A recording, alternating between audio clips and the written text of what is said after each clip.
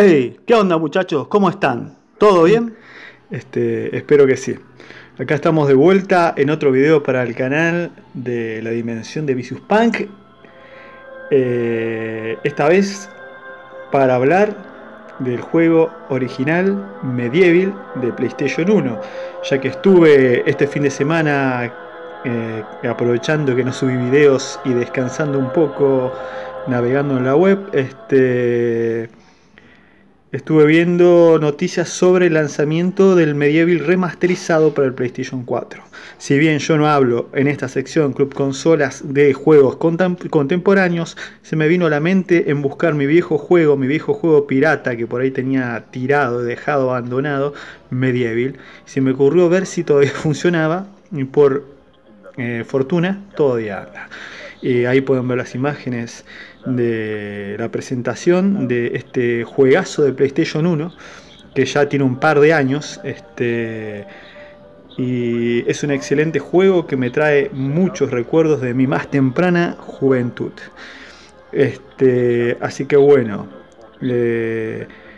sin más, vamos a, a dar unos pequeños datos acerca de este juegazo de PlayStation 1.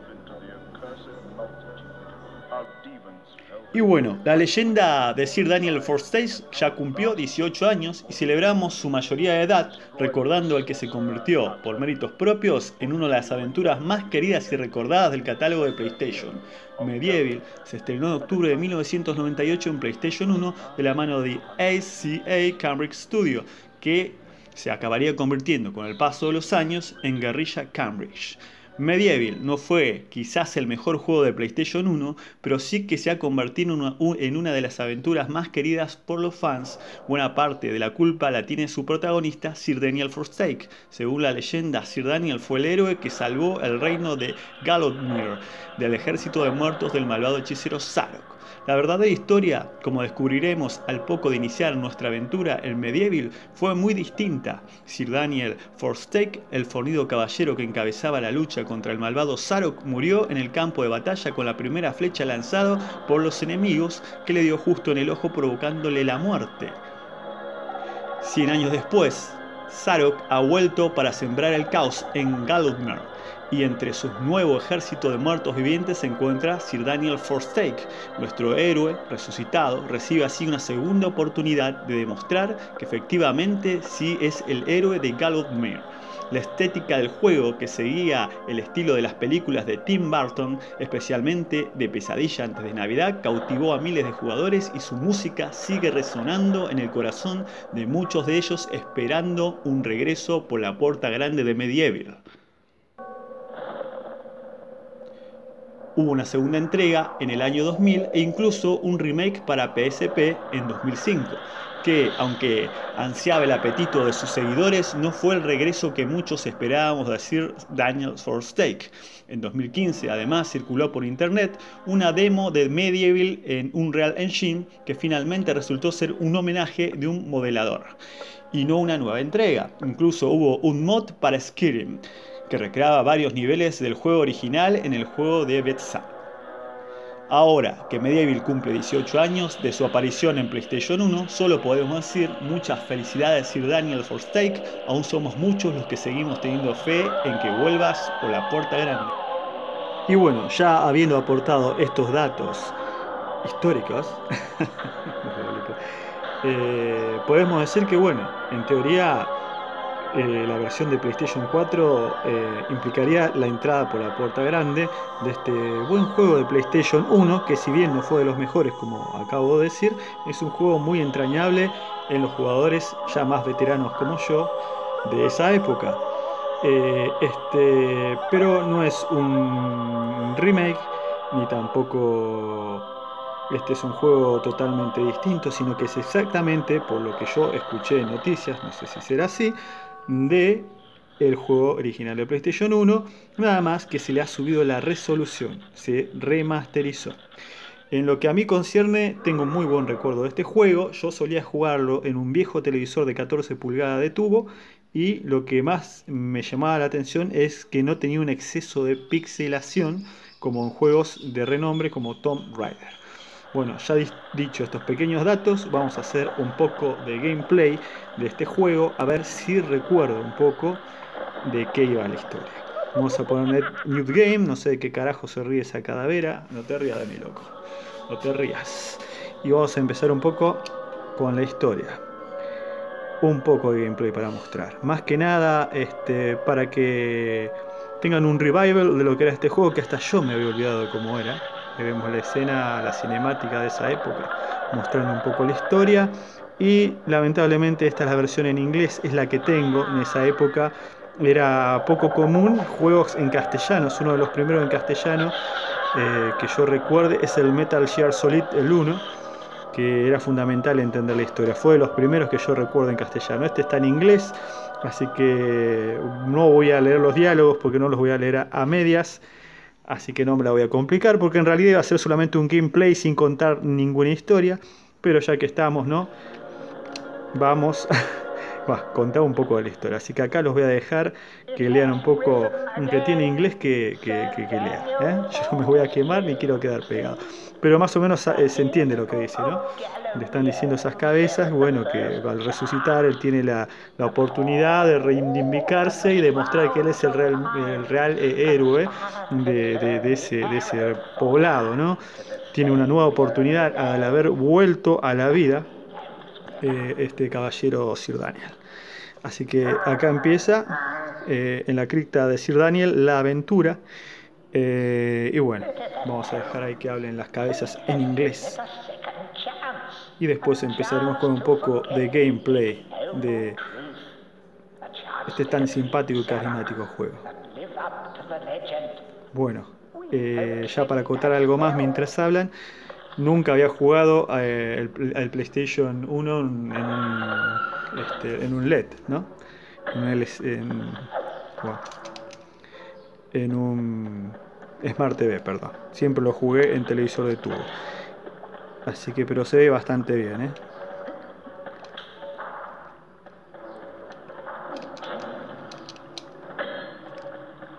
Bueno. A ver a dónde vamos. la verdad que estuve practicando un poco, pero la verdad no recuerdo mucho. Más o menos fui refrescando mi memoria, pero... Pero...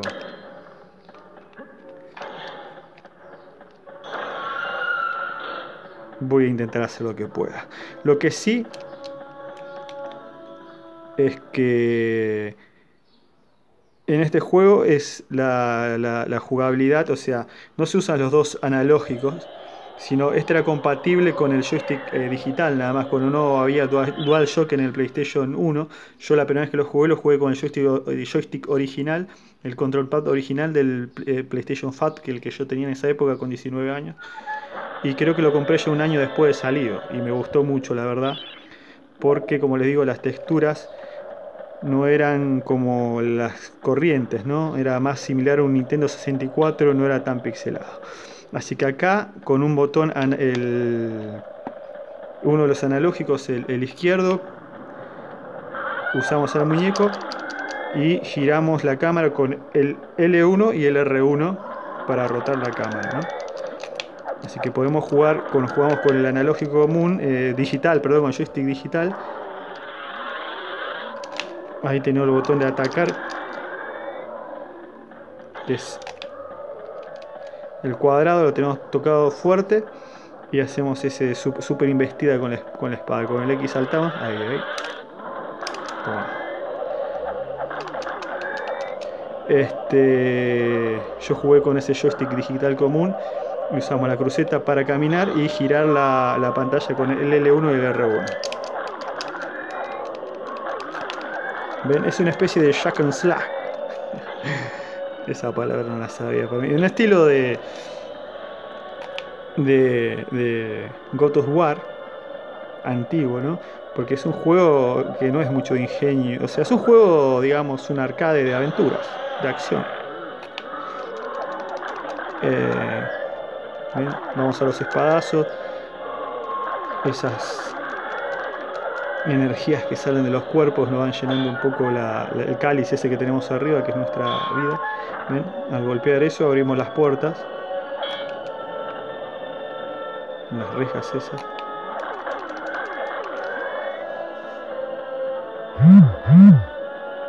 Está muy bueno, la verdad me, sorprende la calidad de los gráficos para hacer de Play 1. También juntábamos monedas, recolectamos. Que son puntos. Y no sé si... Ah, se podían mejorar las armas en el transcurso del juego.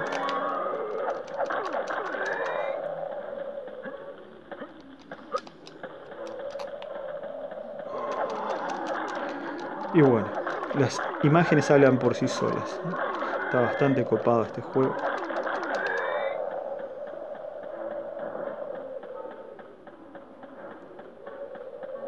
Muy bueno el mapeado. Se me va un poco el joystick por el costado porque este joystick está bastante baqueteado ya también. Este que estoy usando ahora es un DualShock. Ya bastante viejo.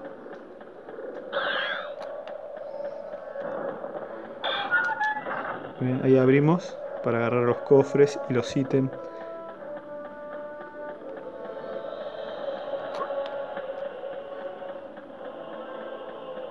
Así que bueno, era más que nada para que vean cómo era la versión original.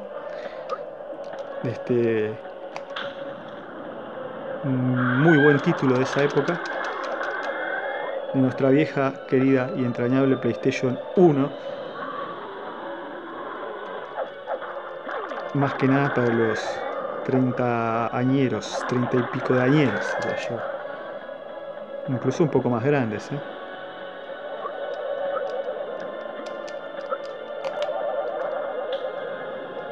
Y recargamos un poco la, energía con eso verde.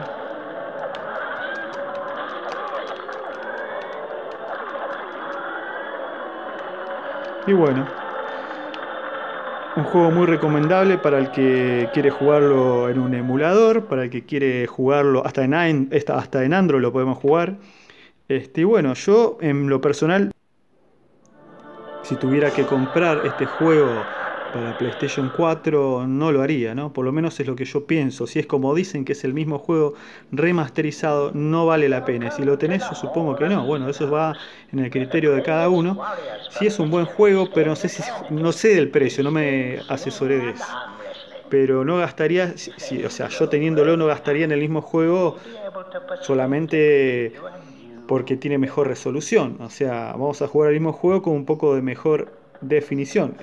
por lo que yo estuve investigando y escuchando en distintos, eh, distintos canales de YouTube y, eso, ¿no?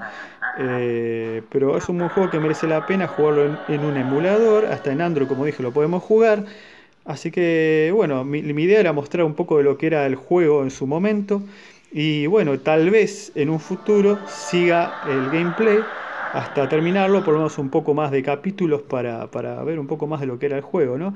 Pero todavía le debo varios gameplay. tengo que terminar el Silent Hill 2, tengo que empezar el, gameplay de Alone in the Dark de PlayStation 2 y entre otras cosas. Así que bueno, hasta aquí, este, mientras hablan estas cabezas en inglés, eh, vamos terminando con el video. Eh, y bueno, espero que les haya gustado la muestra, porque es una muestra, un poco una muestra para que aquellos que lo jugaron en su época recuerden y rememoren este grandioso título de PlayStation 1. Así que sin más, mis queridos amigos de YouTube, mis colegas, camaradas, los espero. Estúpido. y bueno, tengo que poner un poco de onda, le tengo que poner uno. No, vamos arriba. Este, nos estaríamos viendo en el próximo video que es incierto cuál va a ser, pero que va a haber un video dentro de poco otra vez, por a su desgracia lo va a haber. Así que mis queridos amigos, nos vemos en el próximo nivel.